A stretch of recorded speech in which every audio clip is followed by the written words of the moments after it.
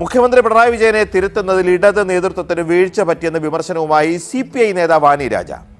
പിണറായി വിജയനെ ധാർഷ്ട്യം കാണിച്ച് കമ്മ്യൂണിസ്റ്റ് നേതാവിന് ചേരാത്ത രീതിയിൽ പെരുമാറിയെങ്കിൽ അത് തെറ്റാണെന്ന് നേതൃത്വം തിരുത്തി പറയണമായിരുന്നു. തിരുത്തണമായിരുന്നു.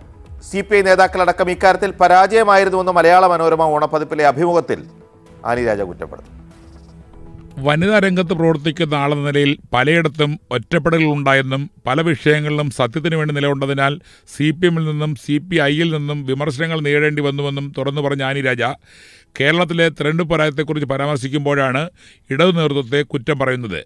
ഇപ്പോൾ മുഖ്യമന്ത്രിയെ വളഞ്ഞിട്ടാക്രമിച്ചിട്ട് കാര്യമില്ല. അദ്ദേഹം നാൽപ്പത് വണ്ടിയുടെ അകമ്പടിയിൽ പോകുന്നത് ഇടതു നേതാക്കൾ കണ്ടിട്ടില്ലേ? ധാർഷ്ട്യം കാണിക്കുമ്പോൾ ഇത് കമ്മ്യൂണിസ്റ്റ് രീതിയല്ലെന്ന് പറയണമായിരുന്നു. ഇവിടെ ഒരു കമ്മിറ്റി ഉണ്ടല്ലോ അത് എന്തിനു വേണ്ടിയുള്ളതാണ്? ആനുരാജ ചോദിക്കുന്നു. അടുത്ത സമയത്തായി ബിനോയ് വിശ്വൻ ചില കാര്യങ്ങൾ പറയുന്നുണ്ടെന്ന് സൂചിപ്പിച്ചുകൊണ്ട് നേരത്തെ എൽ ഡി എഫ് യോഗത്തിൽ പോയിക്കൊണ്ടിരുന്ന നേതാക്കളെയാണ് ആനി രാജ വിമർശിക്കുന്നത്.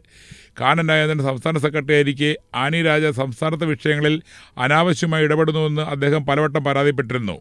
മുഖ്യമന്ത്രിയായാലും തിരുത്തേണ്ട തിരുത്തണമെന്ന് പറഞ്ഞുകൊണ്ട് ഇടനിർത്തെ ആകെ ആനിരാജ വിമർശിക്കുമ്പോൾ അത് ഏറ്റവും ബാധകമാകുന്നത് സംസ്ഥാനത്തെ സി പി ഐ നേതാക്കൾ കൂടിയാണ്. Asianet news Thiruvananthapuram.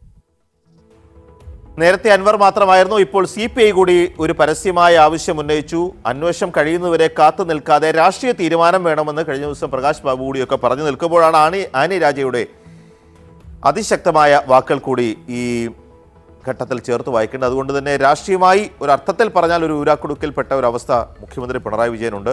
പക്ഷേ കേരളം കാത്തിരിക്കുന്നത് മുഖ്യമന്ത്രി പിണറായി വിജയൻ നടപടിയാണ്.